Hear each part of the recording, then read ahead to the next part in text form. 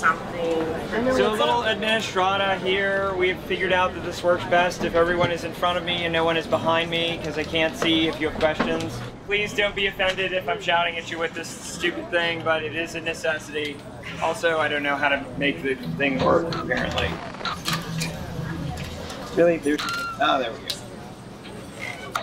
Alright, is that... All I'm supposed to do.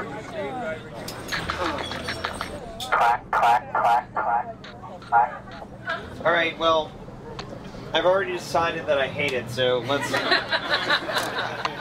let's figure out if my voice will hold out for this whole training or not.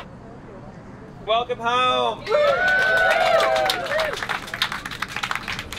So what I always start with is the mission statement of the Temple Guardians, which is the Temple Guardians hold the space of the temple maintaining an environment that allows equal access for everyone to have the experience and expression that they need and to keep the temple itself, as well as the participants who visit it safe.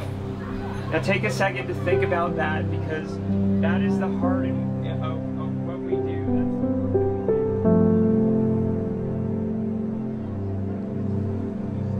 This is my first year being a guardian. But I loved the temple last year so much, and I was there twice a day. I thought it would be very much an honor to be a guardian. It seemed like a good fit to volunteer to give back to the burner community. After the first year, it changed my life. There's a holiness um, to the temple that is beautiful and sacred, and I love being a part of that very much like the playa, the temple is really the blank canvas for all of the things that we are carrying with us. The temple, I often tell people the temple is what people need it to be at the moment that they're there. It's only when people start filled with their grief and their love that then it becomes a temple. And they put the things down and then they they walk out lighter. And in a lot of ways it's kind of like the miracle of the temple.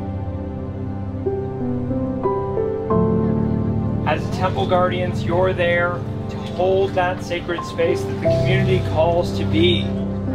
Think about this because what it means is that you're the human embodiment of the temple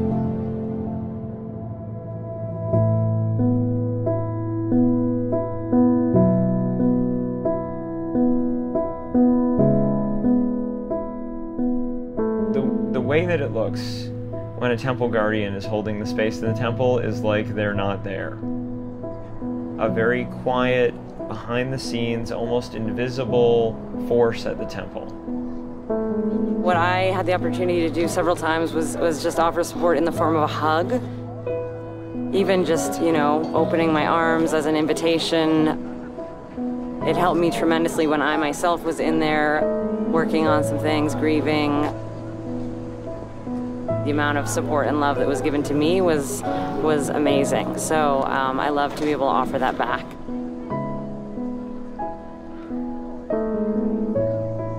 To be there when we're needed and then step back when we aren't.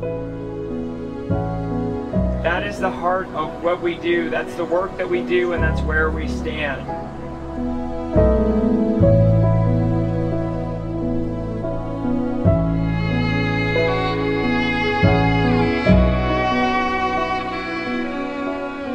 I've watched a temple burn. It's something that's very special. But the thing that the Guardians do on the night of the temple burn, I think goes so far beyond what happens after the temple burn begins. And the crowd quiets down and, and everyone is just watching the temple burn. And if you're there and you're being with the crowd, really making yourself a part of them while you're watching them. And see the firelight dancing in their eyes. You know, I say all the time to my guardians, I'm like, look, the thing behind you, that's a structural fire. But what's available in front of you, what's there for you if you put yourself with that crowd is everything.